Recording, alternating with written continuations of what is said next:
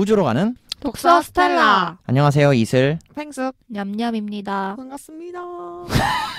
편집.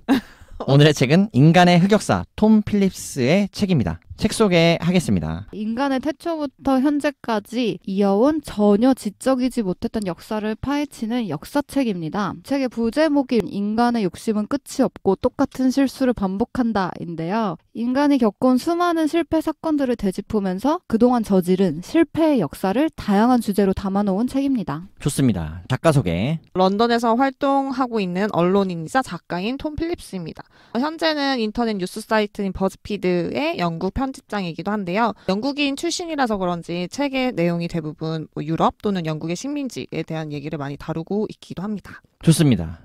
작가 소개와 책 소개, 책 소개와 작가 소개 잘 맞췄고요. 책의 목차는 10장으로 구성이 되어 있습니다. 10장으로 구성이 되어 있고 인간의 흑역사라는 제목에 맞게 서두에 이렇게 써 있어요. 진짜 큰 바보짓을 저질러본 모든 사람들에게 이 책을 바친다. 서두만 읽은 건 아니겠지? 아, 아닙니다, 아닙니다. 오케이. 재밌게 읽었고요. 역사를 흑역사에 포커스를 맞춰가지고 주제 boundary 안에서 인간이 실수했던 거, 실패했던 거를 나열한 게 재밌는 구조라고 생각이 됐어요.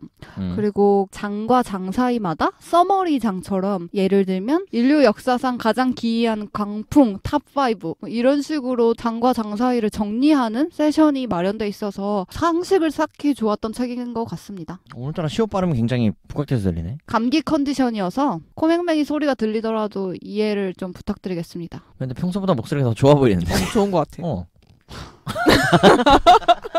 아, 여기서 이렇게 비난을 받네요. 다양한 비난. 다양한 비난. 팽숙 언니는 어떻게 읽으셨어요? 저도 이 책이 흑역사를 다루는 거라서 사람들이 터무니없는 실수를 하는 게 재밌었고 그리고 그런 실수들이 우리의 역사나 환경에 어떻게 영향을 줬는지도 말을 해줘서 그 부분들이 재미있었어요. 어떻게 읽으셨죠? 재밌게 봤어요. 재밌게 봤고 재밌었지만 실망을 많이 했다. 왜 실망했어요? 취향 탈 수 있을 것 같아요. 호불호가 많이 갈리는 책이다. 말투가 오. 언론 인으로서 비꼬는 말투? 음? 음, 이런 실수 한 거 터무니없지 않아? 이런 말투가 아. 되게 어 웃기다 이렇게 생각했네. 아 그렇게 봤어? 난 조롱 혹은 비아냥으로 봤는데. 저는 아 두 분 고급지네요. 병맛으로 봤어요.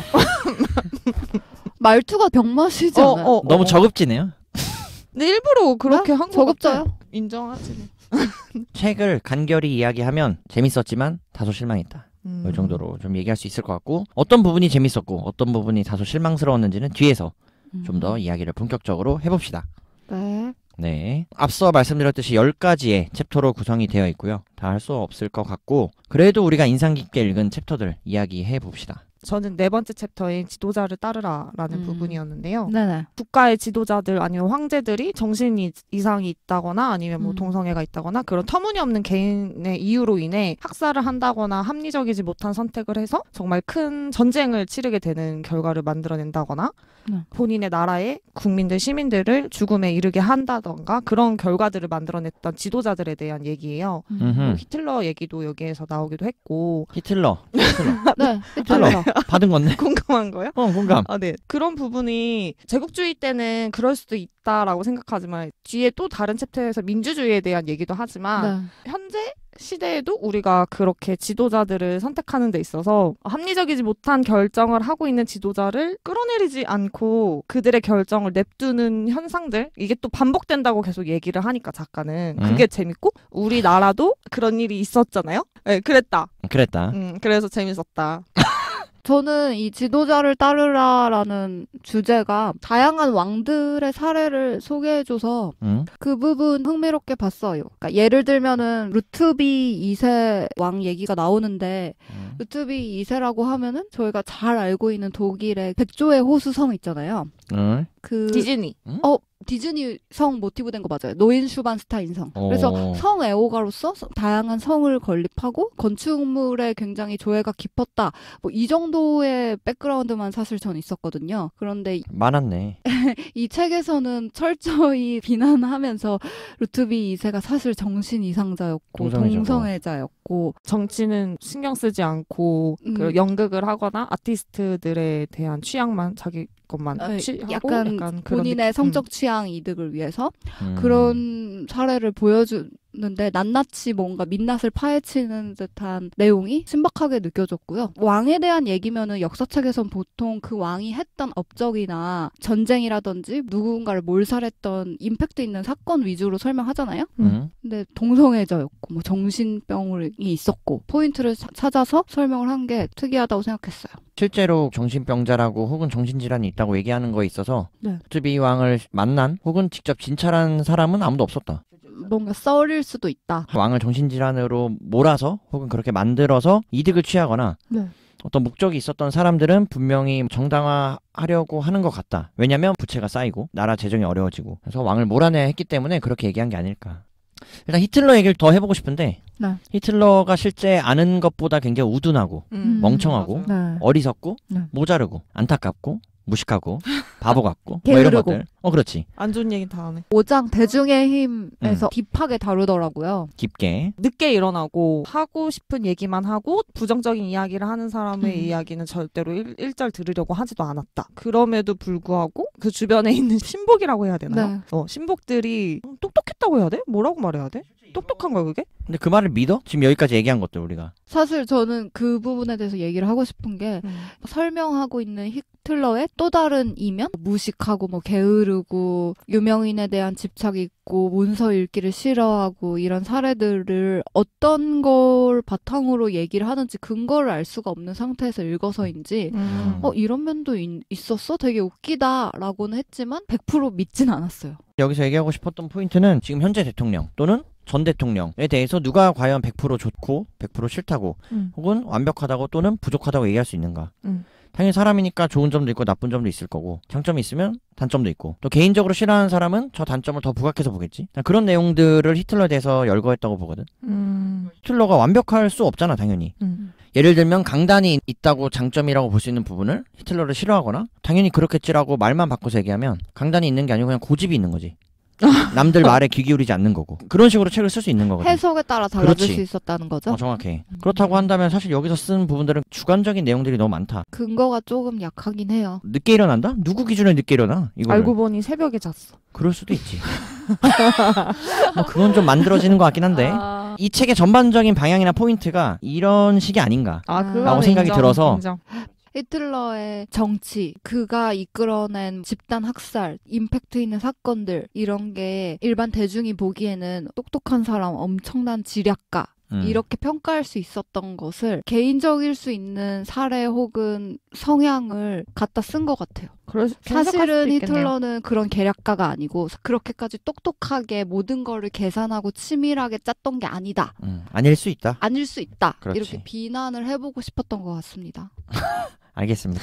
네. 예를 들어 성실한 사람이다. 나쁘게 얘기하면 요령을 부릴 줄 모른다. 뭐 융통성이 우둔하다. 없다. 그렇지. 히틀러나 뭐 루트비 2세나 이렇게 얘기한 게 아닌가. 음. 여기서 대중의 힘이라는 다섯 번째 챕터에서 히틀러가 나오는데 음, 음. 민주주의에 관해서. 히틀러는 좀 열외인 것 같아요. 민주주의 얘기하면서 개가 도지사가 되기도 한 경우를 이야기도 하고 음. 실제로 존재하지 않는 물건이 선거에 승리를 하기도 하고 후반부에는 코브라법 해가지고 코브라를 음. 아예 말살시키자 했더니 side effect로 또 다른 문제가 생기기도 했고 히틀러는 민주주의 또는 대중이 결정한 사항이 아니잖아요. 독재를 한 것이고 음. 저는 읽으면서 맞지 않는 챕터 안에 들어와 있는 거 아닌가? 아, 왜 갑자기. 민주주의 주제 안에 히틀러 얘기가 나오나 싶었다는 거죠. 음.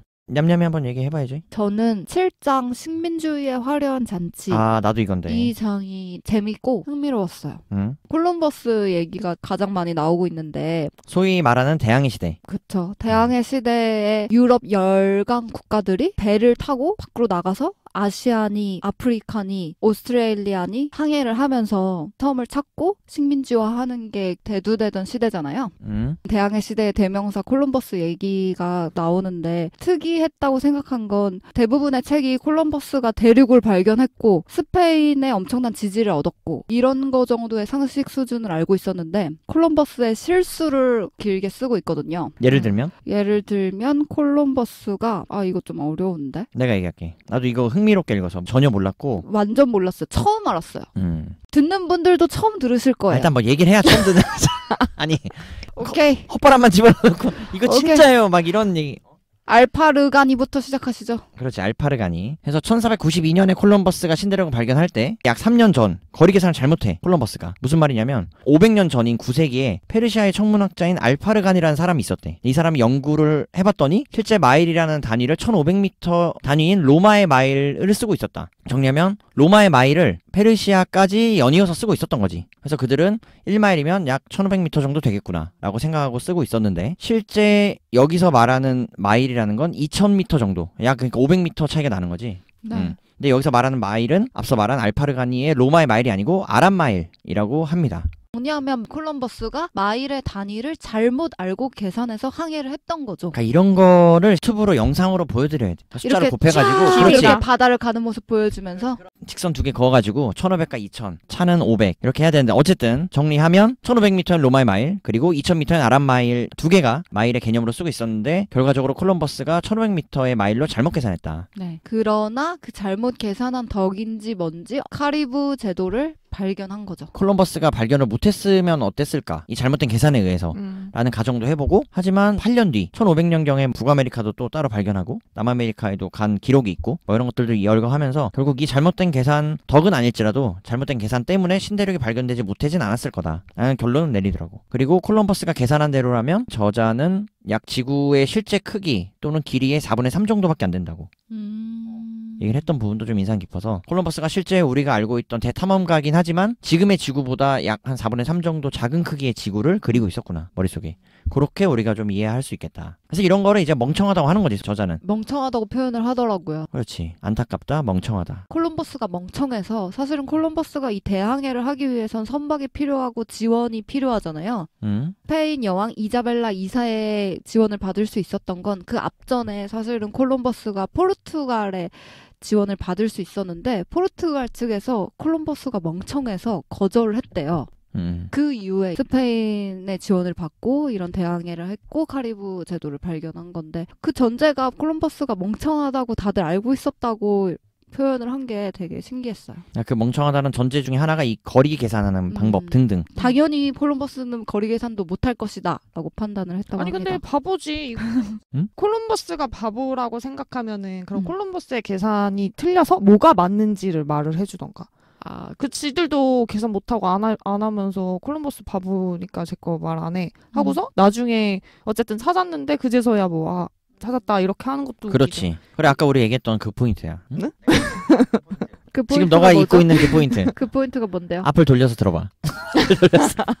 진짜 방송맨 앞을 돌려서 다시 들어봐 포인트를 알고 싶으신 분은 생각하기에. 따라서 아 다르고 어 다르다 말하기에 음. 따라서 아 말을 다르게 하. 그렇지 지금? 말하는 포인트는 그런 거지 저걸 누가 멍청하다고 할 거냐라는 것 실제 멍청하다고 보는 것 한 끗 차이거든 뭐 그런 일화 많잖아 콜럼버스가 뭐 이 계란을 어떻게 세울 거냐고 사람들이 고민하고 있을 때 음.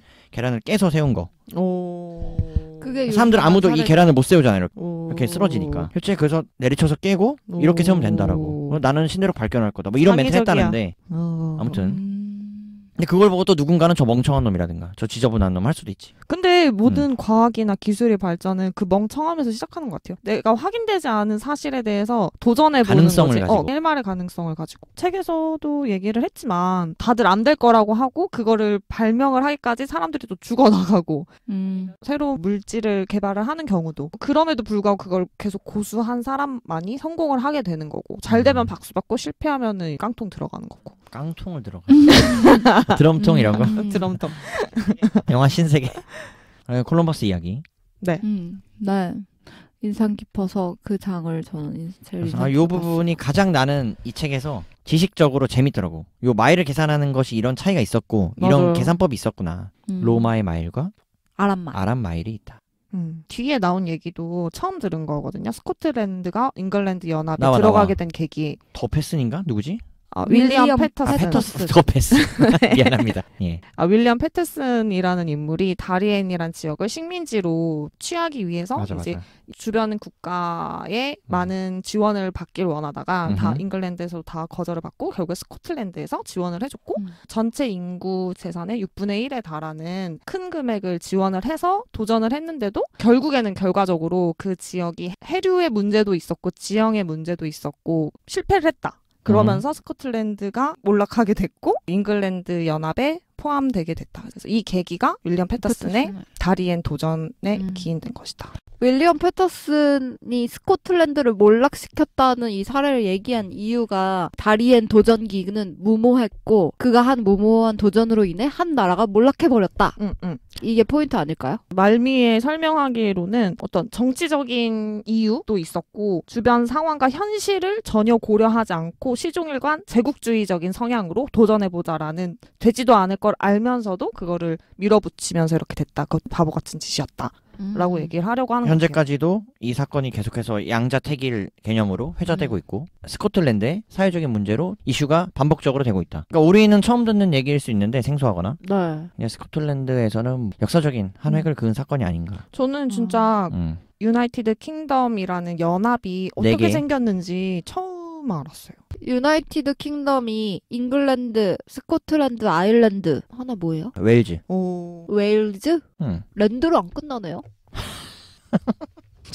죄송합니다. 언니 지금 처음 알았어. 나 처음 알았어. 그래, 뭐 상식이니까 우리 이렇게. 그랬군요. 그랬군요. 자, 그 둘이- 중에 스코틀랜드가 망한 이야기까지 다뤄봤습니다. 오케이. 얘기하고 싶었던 부분. 8장 바보와 현직 대통령들도 알 수 있을 만큼 쉽게 푼 외교 이야기. 그렇지. 이 중에서도 이 장이 흥미로웠던 이유는 호라즘 제국의 황제 이야기를 다루고 있는데 저희가 징기스칸 하면 다들 아시잖아요. 음, 몽골에 엄청난 업적을 세운 음. 내용을 간략히 말씀드리면은 호라즘 제국의 무함마드 왕이 징기스칸이 대륙 침략에 대해서 양보를 하고 양보를 하고 세 번 양보를 했지만 자신의 어떤 자만심 혹은 자존심 때문에 징기스칸의 화해 제스처를 다 거절하고 우호의 의미의 편지나 사찰단 이런 사람들을 다 거부하고 몰살하면서 열받은 징기스칸한테 결국 몰락당하고 침략당했다. 음. 얘기하고 싶었던 교훈은 자존심 지키려다가 나라가 쫄딱 망한 케이스. 이런 외교는 정말 바보 같은 짓이다. 이걸 꼬집고 싶었던 걸로 이해했어요. 음. 책에서도 나오지만 이 호라즘 왕국의 위치에 대해서 나오는데 서로는 흑해금방, 남으로는 페르시아만. 전 여기까지 징기스칸의 영향력이 닿았다는 거. 13세기 초에. 거의 3년 만에 지도에서 사라졌대요. 그만큼 외교가 중요하고 자존심이 다가 아니다. 뭐 이런 대부분의 역사책에서 거론할 때는 징기스칸의 외교의 뛰어남을 음, 네. 맞아. 이야기를 했었다라면 네네. 이 부분은 좀 반대인 거지. 그쵸. 외교의 중요성. 그리고 저는 3장. 삼장이- 생명은 살 길을 찾으리. 자연을 통제하겠다는 음. 시도로 인해서 가져온 파국에 대해서 이야기를 하죠. 음. 인간이 네, 인간이. 지금도 그렇긴 한데 저는 뭐 마오쩌둥의 참새 소탕 작전이고 너무 웃겼어요. 진짜 제 어이가? 없었어요. 제사해. 제사해 운동. 제사해 운동. 그래서 네 개의 해가 되는 동물, 곤충을 박멸시키자라는 죽이자. 운동이었는데 그 중에서 참새가 포함이 됐고 음. 참새가 곡식을 먹는다라는 이유로 참새를 다 잡아서 와 근데 우리나라도 그런 거 있었지 않아요? 어렸을 때 쥐 잡아오는 거? 쥐를 잡았다고요? 어 나는 아니지만 우리 부모님 시대는 일실직고에 있죠. 쥐꼬리 가지고 아! 와서 하게 있었는데 바꿔주고 먹을 아, 걸로. shit. 옛날에 육남매란 드라마 보면 나왔어요. 본인이 그 중에 막내 아니야? 실제 그 나이 세대. 어? 네. 아 진짜 있었어. 맞아 있었어. 오스틴 얘기하지. 오스틴이라는 사람이 오스트레일리아에 처음으로 토끼를 수입한 사람이에요. 데리고 그전에 간 토끼가 없었대. 없었는데 음. 몇 마리? 스물 네 마리. 오 영국으로부터. 네. 근데 이제 토끼의 천적이 없는 거지. 토끼가 너무 너무 많아져서 결국에는 식물을 다다 먹어버려가지고 먹어치우지. 그게 또 문제가 됐다. 토끼를 데리고 와서 뭔가 특별하다는 거를 과시하고 싶었는데 오히려 토끼에게 일상을 잡아먹힌 이야기 음. 이런 썰이죠. 근데 우리나라도 황소개구리 예전에 네, 맞아요. 났었지. 그런 거 있었잖아요. 2장이랑 3장이 둘 다 2장은 환경 얘기, 3장은 생명에 대한 그 동식물 얘기 음. 그두 가지를 연결해서 얘기할 수 있을 것 같은데 응? 결론적으로 환경이든 아니면 동식물, 생태계든 인간이 마음대로 뭔가 이동하려고 하고 바꿔보려고 했다가 망한 이야기를 음. 다루고 있어요. 그렇긴 한데 실상 이거 보면 책 앞에서 혹할 만 해 사람들이. 아 그래 이러니까 음. 자연은 건들면 안 되는 거고 음, 인간이 감히 맞아요. 지구를 이겨서라고 하면 안 돼. 음. 근데 맞습니다. 반대로 성공한 케이스 분명 있을 거거든. 있죠, 있죠. 많겠지. 더 많으니까 인간이 생존한다고 봐. 다섯 개에서 열 개 정도 케이스를 들고 인간이 이래서 지구에 하면 음. 잘못된 거야라고 하- 얘기하는 거라면. 그러기에는 인간이 너무 계속 잘 살고 있고. 그렇지. 근데 이 토끼를 결국 개체 수를 줄이지 못했잖아. 근데 그거에 대한 얘기가 없어. 팔로업이. 그냥 그런 케이스들을 그냥 예시로 계속 나열한 거 아니에요? 그러니까 책에서 더 얘기하는 거는 뭐 철조망도 치고 토끼 잡으려고 뭐 음. 생화학 무기도 쓰고 했는데 죽이고. 못했다. 근데도 박멸이 안 됐다는 거지. 멸종시키지 못했다. 그래서 지금 오스트리아엔 토끼가 대체 얼마나 있는가? 그렇지. 난 이게 궁금해. 대체 그래서 그렇다면 지금은 어. 아. 그게 없으니까 그런 데이터는 없죠. 음, 토끼가 줄어든 건지 늘어난 음. 건지 전반적으로 데이터가 조금 부족해요. 수치화되지 않았다?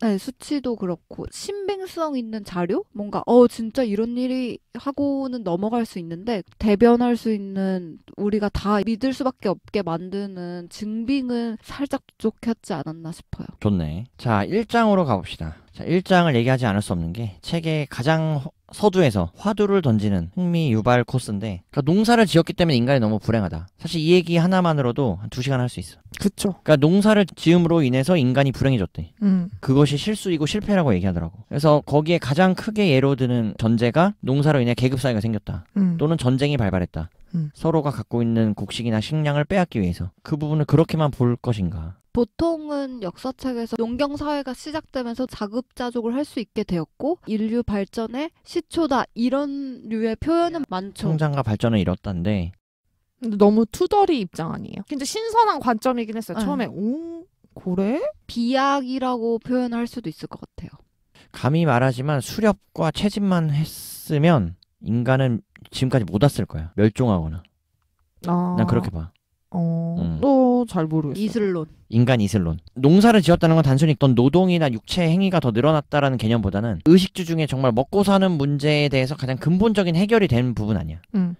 또 정착 생활을 할 수 있었고 음. 그로 인해서 문화가 발전하고 이런 것들이 또 사람과의 관계가 생기고 음. 이 농경의 발전을 통해서 계급이 양산되고 뭐 이런 얘기는 너무 단면에 단면만 뽑아내려고 했던 게 아닐까. 모든 해석이 결과론적인 해석이니까 음, 그렇지 않았다면 의 케이스를 우리는 알지 못하잖아요. 그렇지. 책에서 계속 언급되는 것처럼 뭐 예를 들어 콜럼버, 콜럼버스가 미대륙을 발견했을 때 그럼 발견하지 않았다면이라는 가설은 있지만 진짜로 발견하지 않았을 때는 어떤 반응과 어떤 결과들이 도출됐는지는 전혀 알 수가 그렇지. 없으니까 역사의 만약은 없으니까. 그 모든 것들이 반대편의 입장에서는 가설일 뿐이다. 저는 이슬님의 의견에 동의를 하는 게 책 자체가 앞서 말씀드렸던 것처럼 논거나 철저하게 증빙 데이터를 바탕으로 설명하는 게 아니고 농경을 해서 계급이 생겼고 그래서 뭐 전쟁도 일어나고 사람들 관계 가 힘들어지고 농경 사회 시작한 게 너무 바보 같은 짓이야. 갑자기 이렇게 비하기 시작돼요. 음. 그 중간중간에 우리가 잘 모르는 재밌는 사례를 넣고 뭐 상식 수준이 될 수 있는 스토리를 풀어내니까 혹할 수는 있죠. 근데 팽숙이 말대로 그거는 맞는 것 같아. 그러니까 없는 사실에 대한 가정을 하진 않거든. 아, 있었던 사실에 대해서 결과값 중에서 안 좋은 걸 얘기하는 거지. 음. 그래서 이런 것들이 생겼으니 이게 안 좋은 거다라고. 음.